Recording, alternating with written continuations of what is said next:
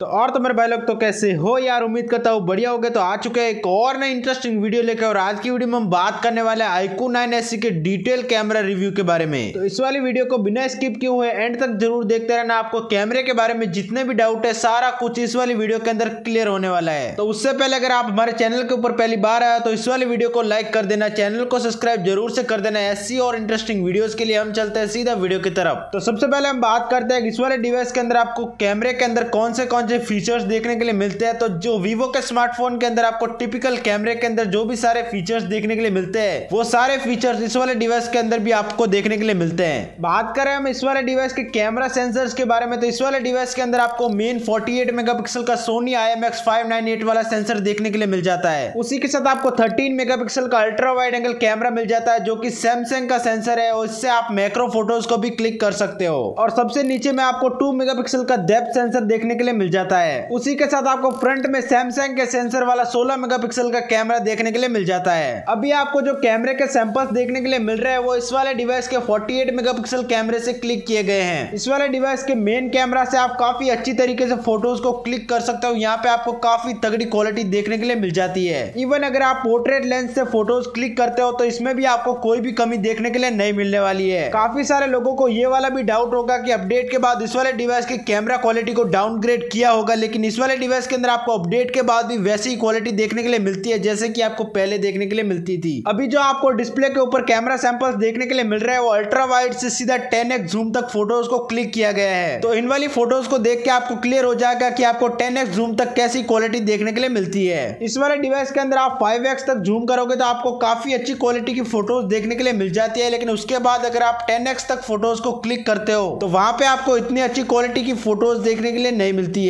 अभी जो आपको फ़ोटोज़ देखने के लिए मिल रही है, वो विदाउट नाइट मोड और नाइट मोड ऑन करने के बाद फ़ोटोज़ को क्लिक किया गया तो आपको कैसी क्वालिटी देखने के लिए मिल रही है, वो आप खुद जज कर सकते हो। इस वाले डिवाइस के अंदर नाइट मोड को ऑन करने के बाद आपको काफ़ी तगड़ी क्वालिटी की फ़ोटोज़ देखने के लिए मिल जाती है। अभी जो आपको डिस्प्ले के ऊपर कैमरा सैंपल्स देखने के लिए मिल रहे हैं, वो इस वाले डिवाइस के मैक्रो लेंस से क्लिक किए गए हैं। तो इस वाले डिवाइस के अंदर आपको डिसेंट लेवल का मैक्रो कैमरा देखने के लिए मिल जाएगा, जिससे आप ठीक ठाक फ़ोटोज़ को क्लिक कर सकते हो। अब बात करते हैं इस वाले डिवाइस के वीडियो रिकॉर्डिंग के बारे में। इस वाले वीडियो को रिकॉर्ड किया गया टेन और सिक्सटी एफ़ में और यहाँ पे ई e और OIS दोनों को ऑफ़ करके इस वाली वीडियो को रिकॉर्ड किया गया है। और अब जो आप वीडियो को देख रहे हो, इस वाली वीडियो को ई e ऑन करके टेन में सिक्सटी एफ़ पे इस वाली वीडियो को रिकॉर्ड किया गया है तो आप क्वालिटी का अंदाज़ा लगा सकते हो। और अब आप जिस वाली वीडियो को देख रहे हो, इस वाली वीडियो को OIS को ऑन करके टेन में सिक्सटी एफ़ पे रिकॉर्ड किया गया है तो इस वाली वीडियो की क्वालिटी क्वालिटी को भी आप जज कर सकते हो कि आपको कैसी क्वालिटी देखने के लिए मिलने वाली है। बात करें इस वाले डिवाइस के अंदर आपको कैसी क्वालिटी का ऑटो फोकस देखने के लिए मिलता है तो वो सैंपल आप डिस्प्ले के ऊपर देख सकते हो कि आपको किस तरह का ऑटो फोकस जो है इस वाले डिवाइस के अंदर देखने के लिए मिलता है। फोकस की बात करें तो यहाँ पे आपको ज़्यादा स्लो भी देखने के लिए नहीं मिलता है और ज़्यादा फास्ट भी देखने के लिए नहीं मिलता है। यहाँ पे आपको डिसेंट क्वालिटी का फोकस देखने के लिए मिल जाता है। अभी जो आपको सैंपल्स देखने के लिए मिल रहे हैं, वो इस वाले डिवाइस के मैक्रो लेंस से वीडियो को रिकॉर्ड किया गया है तो आप क्वालिटी को देख सकते हो कि आपको इस वाले डिवाइस के अंदर मैक्रो लेंस से कैसी क्वालिटी देखने के लिए मिलने वाली है। अब हम बात करते हैं इस वाले डिवाइस के फ्रंट कैमरा के बारे में। तो अभी जो आपको सैंपल्स देखने के लिए मिल रहे हैं, इस वाले सैंपल को जो है डायरेक्ट सनलाइट के अंदर फ़ोटोज़ को क्लिक किया गया तो आप क्वालिटी को देख सकते हो कि आपको कैसी क्वालिटी देखने के लिए मिलने वाली है। फ्रंट कैमरे के अंदर भी आपको कोई भी कमी देखने के लिए नहीं मिलने वाले। यहाँ पे भी आपको पोर्ट्रेट शॉर्ट्स भी काफ़ी अच्छी क्वालिटी के देखने के लिए मिलते हैं। यहाँ पे भी आपको एज डिटेक्शन वगैरह में भी कोई भी कमी देखने के लिए नहीं मिलने वाली है।